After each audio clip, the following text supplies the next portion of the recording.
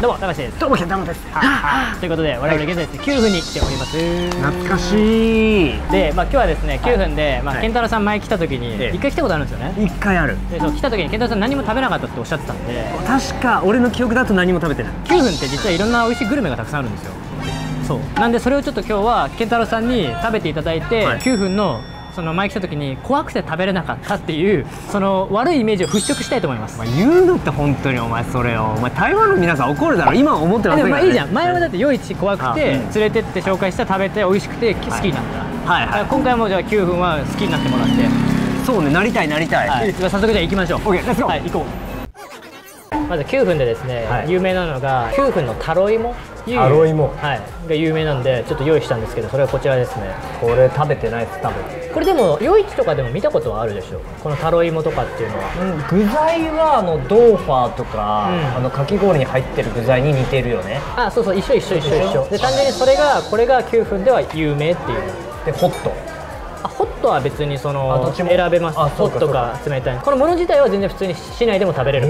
ただ有名なものただ9分の有名なスイーツ。知らなかった。食べてないと思う俺あそうなんだ、うん。てか何も食べてないでしょだって。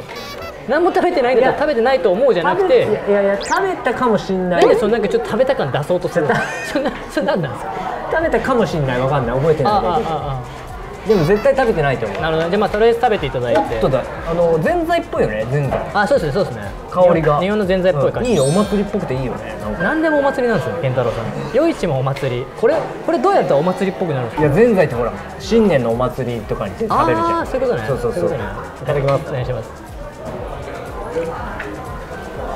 お餅みたい。うん。え？美味しい。もちもちしてて、うんうんうんうん。うんどうですか？タロイモの味します？噛めば噛むほどお芋、あそう。うんうんお餅と違う。うんうんうん。おいしい。お餅よりも噛み切りやすいから食べやすいからあそうです喉には詰まらないから多分あの喉に詰まって死ぬってことはないと思いますお正月によくある。あるよね、本当にね。本当に。残念だよね正月からそうねこれも芋？一緒？えっとあそうです。これはあこれなんださつまいもかもしれない。味がもしかしたら食感もちょっと違う。あこっちの方が柔らかあそうなんだ。で多分もしかしたら長く鍋の中に入ってたのかも。いいや違うね。素材の素材の違いだから。あ素材の味が違う。あ芋芋芋。俺黄色い方が好き。でちなみに10点満点中何点ぐらいですか？8点か。お結構高い。美味しい美味しい。そうなんだ、うん。あでも僕も同じぐらいかも。78点ぐらいかも。やっぱ馴染みがあるからねこの小豆の。そうですねそうですね。なんかデザートっていう正直本当たんこの小豆のこのスープは結構市内でもよく食べます僕は。いいね。あと体にも良さそう。あったかいし。今めっちゃ人多いじゃないですか。あの9分なんか僕コロナの時になんかロケで一回来たことあるんですけど、マジで人全く一っ子一人いなかったんですよ。ここが？そう全く一っ子一人いなくても今こんなすごいじゃないですか。すごい。そうなんか当時はマジで本当に一っ子一人いないしこの辺の一っ子一人いない。一っ子一人いないもうい犬が歩いてるだけ。マジで犬が歩いてる。でお店もほとんど閉まってて。マジ？そうそうそう。だから今もうこうやってほら活気取り戻して。すげえよかったね。本当そうよ。車で来たけどさ人すごかったじゃん。車で来た時ももう引きそうになるぐらい。いやめっちゃみんなね。よ広がってて。みんな来たかったんだよだから。引き続きちょっとあのおすすめの料理を食べましょうなんかあるんですか？あのもちろんありますよ。調べてありますんで。行きましょう。何の何の香り？最高やないかお前。今日。え？お前今回最高やなお前。そりゃそうでしょ。ありがとうございますおお前大あのあの大スター健太郎さんのためですよ。大スターではないけど。いや9分いいね。もう一発目から美味しかったからもう大満足でもう帰れるもんだって。でも帰ってもらっていいですか？ね食べさせてくださいよもっと食べさせてくださいよ、はい。ということでじゃあちょっと引き続き食べましょう。はい。何これ。プルプル震えてんだけど。これがですねお餅にまあいろいろ具材が入ってるんですね今日買ったのが芋。えー、なんか触って感じなんか水餃子みたいな感じ。まあ、見た感じもそうですよね。ちょっと水餃子っぽい形してるし。これ僕もちょっと食べたことないんであじゃあ一口いって。はい。え？じゃあ一口いけるもんならいけよお前。いけるもんなら言ってみろよいけるもんなら言ってみろよ。言ったらダメ金賞取ってんの？あそうですね。金賞取るここ有名店みたいなマジ？ですげえじゃん。こちらなんですけど。街道はい。おえ？甘いのかと思ってた。おおしょっぱい。あしょっぱいんだ。ご飯。あそうなんだ。食事？あそれは俺も知らなかった。俺デザートかと思ってた。俺も完全にそう思ってた、うん。軽食です多分戦争の時持ってってたのみんなポケットに。言いながら戦いながら食べてるね。ちょっと僕もいただきます。しょっぱいんだ口臭まいな。おい。おい。いただきます。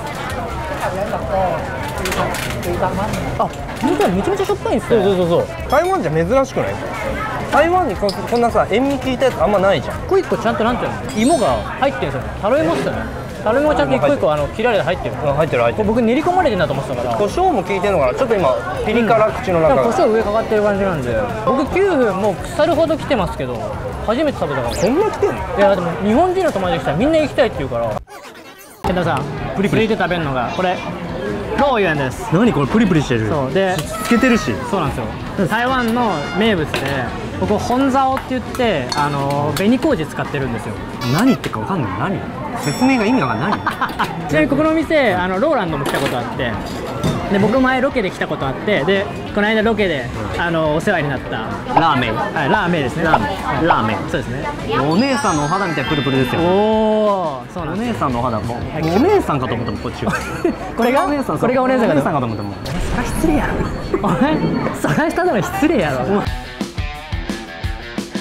こちらがですねローユエンと言われるもので、本来は赤いものじゃないんですけど、ここは紅麹を中に入れてるって言って赤くなってるっていう状態のものです。だからさだからさその日本語で説明してよ 紅麹はわかるでしょ？麹。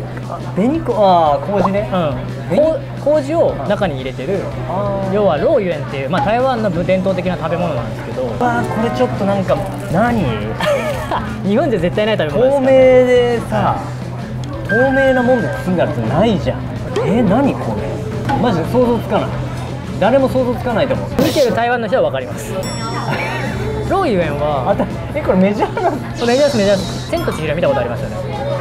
ある。あのお父さんとお母さんが食べるやつあこれの？これこれこれこれあこれ食ってんの、はい。あれ確かそうローユエン。一口であれそうあれローユエン。これ食ってんだ。えこれ何？金も金金もで金も出てきたよ何これ？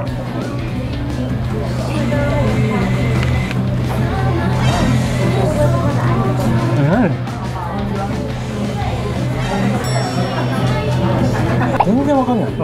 日本にないですからね。初めてすぎてどリアクションがむずい。台湾の味だな。何これ？不思議すごい。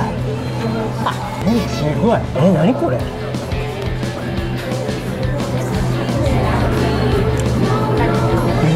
あじゃあ美味しいか美味しくないかでどっち？ですか新しいわかんないわかんないわかんない。それは分かるでしょ美味しいか自分に合うか合わないか。えまずくないから美味しいの？あじゃあ分かった。好き普通嫌いで言うとどれあ普通。それはなんで？味は台湾の味。だでだだから食べ慣れてる感じだからこれは美味しいんだよ。え食感かな？ブレブリオブリオしてるじゃん。ブヨブヨしてる。のがちょっと得意ではないかなっていう。のでまあ普通ってことですね。うんこれは本座を使った魚のすり身です。えー、重すぎてねこのスプーンじゃん。もう支えきれてねえじゃん。じゃあ天の気持ちが入ってんだよ今。ありがとうございます。ラバありがとうございただきます。あこれはうまい。魚介類好きだから。あー確かに。確かに魚っぽい顔してますもんね。あれが魚っぽい。え？あれが魚。あごめんなさい魚っぽいじゃない。魚の顔してますもん。魚でしたもん顔は。魚人ってこと？そうそう魚人。何でもいいんだよ。広げなくていいよ。めっちゃうまい。うまいっすよね。優しいスープは。あそうそうそうそう。僕前来た時も本当に美味しいなと思っててまたタイミングがあったら来たいなと思ってたんで。高橋どっちも食べたまた食べました食べましたバイバイ。老板谢谢哦拜拜バイバイバイバイ。シェシェバイバイ。美味しかったね。美味しかったですね。あ雨降ってきてる。うん。9分は雨が多いんでじゃあ、えっと、下タロス、はい。美味しいものいろいろ食べたんで、はい。最後はまあタロスがちょっと食べたいなと思うものでも食べてえ締めますか。俺が選んでいいの？もちろん。なんでダメなんですか？だって要は健太郎があの9分前来た時にいいイメージがなかったって言ってたから そのイメージを覆すために。そこまでは言ってないぞとりあえずそのイメージを、い、いイメージに変えるために。俺は食べ物も美味しいしもう変わってるよ。いやそうだからその最後にちゃんと自分が食べたいもの食べてあ。あのあのハッピーエンドエンディングで終わらせる。あなるほどね。はい。っていう感じで。ななんかもし食べたいものがあったらあの自腹で食べてください。自腹かい。出してくれよ。まあ経費で。出してくれよ。経費で、はい、じゃあ食べましょう。はい、これこれこれ。これめっちゃ美味しそうじゃん。これ台湾やろこれは台湾やろさすがにフルーツ盛りアイスクリームパンケーキがもうこんなフルーツいっぱい乗ってる。これ台湾やろ。ホットケーキはお前台湾の食べ物なわけないだろ。やっぱりジェンタイランといえばシャンチャンなんすよ結局。台湾といえばシャンチャン。シャンチャンといえば全体だシャンちゃんこの辺ありました？もう入り口でチェちょっとチェック済みのやつチェック済みなんだ、はい。これ？これ刻みシャンチャン。ちょっとライン入ってるほら。本当だ。刻みシャンチャン。はいどうもはい全然市内でも食べれますけどね。うまっ。めっちゃうまい。あそう。あめっちゃ見てます。お座り。お座り。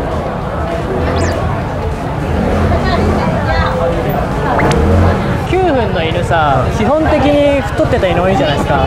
多分みんなこうやってあげてるから太ってんだろうね多分。あやっぱ甘いですね。あでも炭の炭の焼き味がすごいする。そうそうそう、ん。でカット入ってるから、うん、食べやすい。いし美味しいですね。どうでした健太郎さん9分。久々に来ていろんなグルメ食べましたけど。めっちゃ楽しい。これが9分やったんか。そうそうそう。当時はな、うん。もう本当人が多すぎるはい場所、はい。はでなんやかんやめっちゃ周りから日本語が聞こえる場所。はいはいはいはいだったから、はいはいはい。なんか別になんかすげえ楽しかったなって感じ。あこれが台湾かくらいでああなるほどね。いう感じだったんだけど今日はめっちゃ楽しかったなんか結構やっぱ日本人って、うん。その9分っていくとそのやっぱり「千と千尋の」うんに似てる景色と、あとあのお茶屋さんっていうイメージがすごい強いんですけどでもなんか実は9分ってういろんな他のグルメがあるっていうのが日本人には知られてないんでなんかそこを結構日本人せっかく多く来るんだったら知ってほしいなと思って。ロローユンのラーマンが言ってたのは、なんかやっぱ日本外国人が最近今来るようになって、うんうん。なんか日本人はそんなに多くなかったけど、はいはい。ちょうど今週先週ぐらいから急に日本人も増えたって言ってたんでだからまあここからまたね、日本人の観光客の方も増えると思うんで、じゃあ今日僕らが食べたやつ絶対食べてください。そうですね日。本人の方見てる方ぜひね、食べてほしいなと思いました、ということで、えーもしこの動画面白いと思ったらいいね登録よろしくお願いします僕たちメンバーシップもやっておりますのでそちらの登録もよろしくお願いします。ではまた次回お会いしましょう。またね。バイバイ。えーってってでーってって